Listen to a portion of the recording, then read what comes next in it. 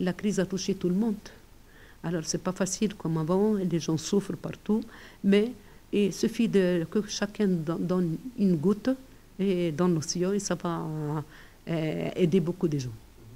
Il suffit de motiver les gens, les gens ne sont pas égoïstes. Alors, dès qu'ils savent que ça va aider des gens, ils donnent facilement. Et alors, euh, nous avons notre association Opération Orange qui est au Isère, qui sont fondées que, uniquement que des bénévoles, ils ne reçoivent rien. Alors, tout ce qu'ils ramassent, tout, et, ça arrive sur le terrain à 100%. Et puis, ils font passer des messages partout. Ils passent dans les, écoles, ils préparent mon, mon, arrivée toujours. Et moi, je suis là pour cautionner et pour récolter tout ce que les gens nous donnent.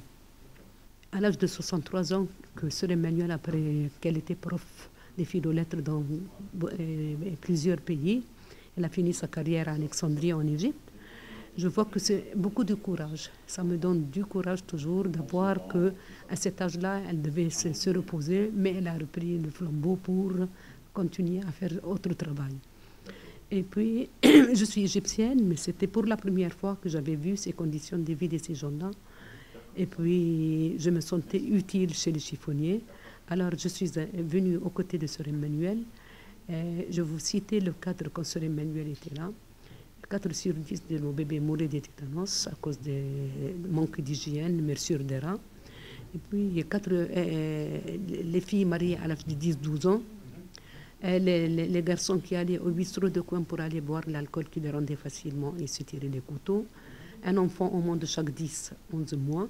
Et puis, les femmes souvent battues, un tas d'ordures, enfants pieds sales et nus, des cochons, des tout. Et tout le monde habitait dans des cabanes en bidon d'un seul étage. Alors tout ça, j'avais honte de tout ce que j'avais vu parce que pourquoi c'était Sœur Emmanuel qui devait nous découvrir notre pays. Trois jours de suite, j'avais des larmes qui coulaient et quand Sœur Emmanuel m'avait demandé à mon éveil, je suis et je suis très heureuse d'être là. Mais il ne faut pas s'arrêter à tout ça. Tout ça est presque fini. Les gens ont voulu s'en sortir. Alors, euh, nous avons ouvert des jardins d'enfants, des écoles, des centres professionnels pour donner un métier à nos chiffonniers vacciner les enfants. On n'a pas eu un cas de tétanos depuis 22 ans.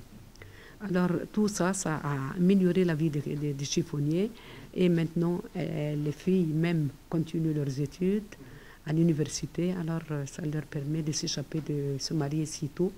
Alors elles choisissent leur mari, ce n'est pas des mariages imposés, et puis elles n'ont que deux, trois enfants, là où leur maman avait 15 à 18 enfants. La religion, ça n'a pas changé, mais il y a plus de fanatisme qu'avant. Les frères musulmans excitent les musulmans contre les chrétiens. Mais les chrétiens sont solides et, je crois que ça va finir. Parce que toute notre vie, nous avons vécu ensemble, ça n'a pas créé de problèmes. Du tout, du tout, du tout. On n'a que des amis partout. Et puis, chez les camps des chiffonniers, euh, euh, ne parlons pas de la religion parce que tout le monde s'aime et tout le monde euh, cherche à comment survivre à se bagarrer par la religion.